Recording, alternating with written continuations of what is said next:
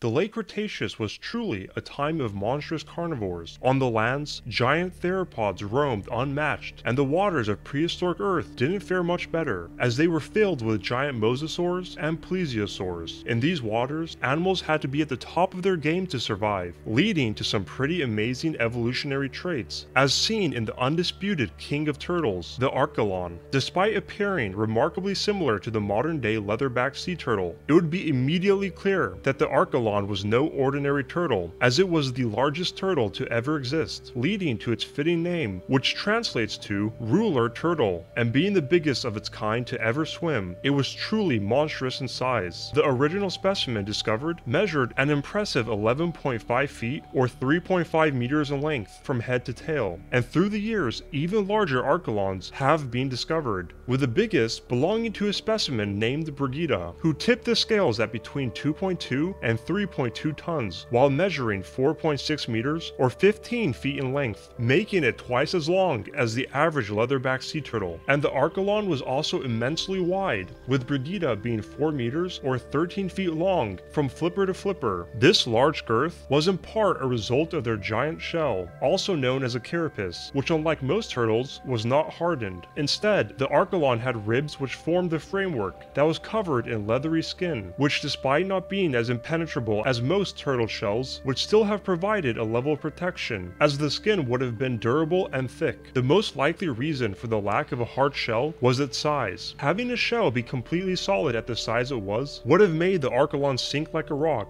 Thus, it had very dense rib bones and a light covering in order to counter both sinking and excessive buoyancy, allowing it more control while swimming. The shell would have also sported a row of ridges that ran down the middle of its back. The wide carapace it possessed provided further benefit by giving the Archelon protection against some of the larger predators, like mosasaurs, as its girth would have made it difficult for carnivores to get their jaws around its body. This being said, it would still probably have been vulnerable to attacks, especially ones directed at its delicate flippers, though on any given day, there would have been easier and smaller prey for mosasaurs and other large marine predators to hunt. The Archelon's flippers, although fragile, were rather long. However, despite their length, it is actually believed that it wasn't the mightiest of swimmers. Analysis on their flipper structure indicated that it didn't have strong propulsion capabilities, leading many to believe that it solely lived in calmer and shallower waters, further supported by the fact that no remains have been found in areas that corresponded with deep waters. With this in mind, there has been some evidence that contradicts this theory, as its flipper to carapace ratio suggests that it was probably capable of short bursts of speed, allowing it to catch moving prey, and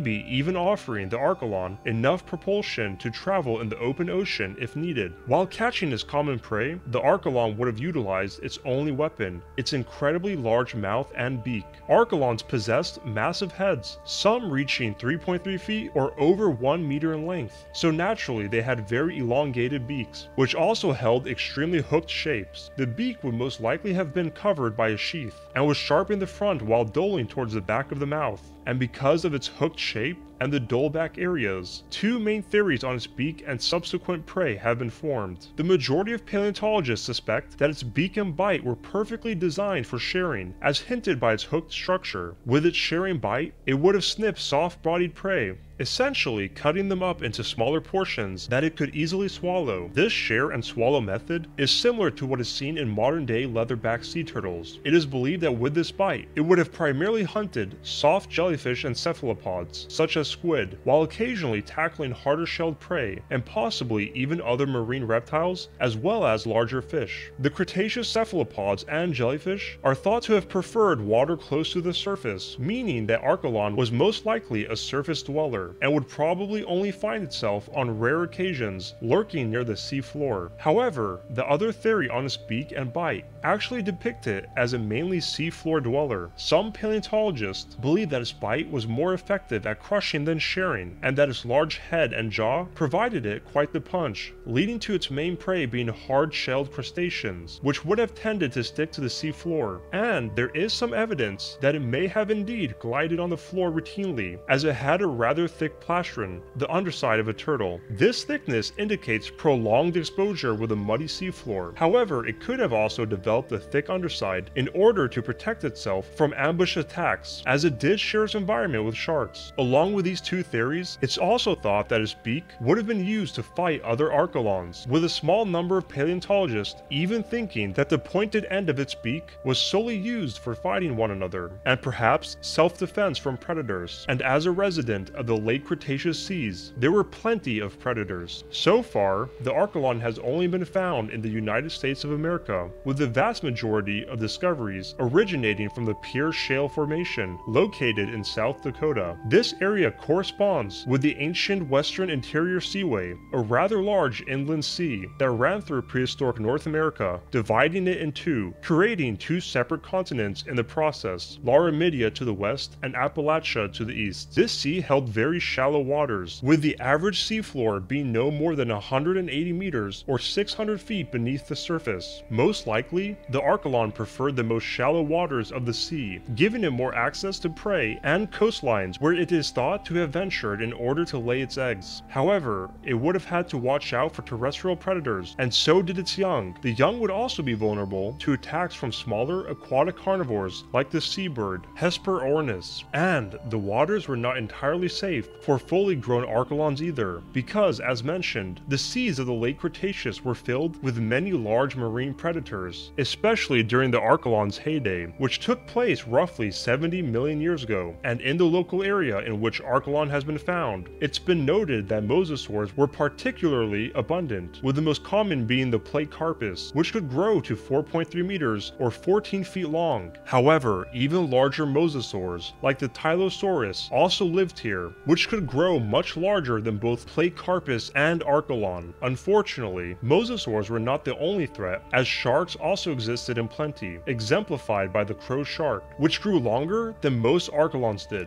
It is thought that sharks were one of the main predators of Archelon during these times. Other inhabitants, which probably did not pose as much threat, included plesiosaurs like the Elasmosaurus and large predatory fish like Xiphactinus. These waters were also filled with the Archelon's prey like cephalopods, jellyfish, and squid. Despite the inherent dangers of the western interior seaway, the Archelon still managed to thrive for millions of years, reaping the benefits of being the largest turtle ever. Yet eventually, its time came to an end as well. However, no one is sure when or how it disappeared. Some believe that parts of the geological formation eroded, making it seem that Archelon died out much earlier than it really did, though more research is needed to come to a conclusion. And regarding its extinction, some speculate that as the western interior shrank, the Archelon's habitat suffered and prey diminished, while others theorize that increased predation on hatchlings played a role in its ultimate demise. This was truly a majestic creature that has thankfully gotten more attention recently, thanks to its appearance in Prehistoric Planet, and hopefully, it will only start to appear more and more often.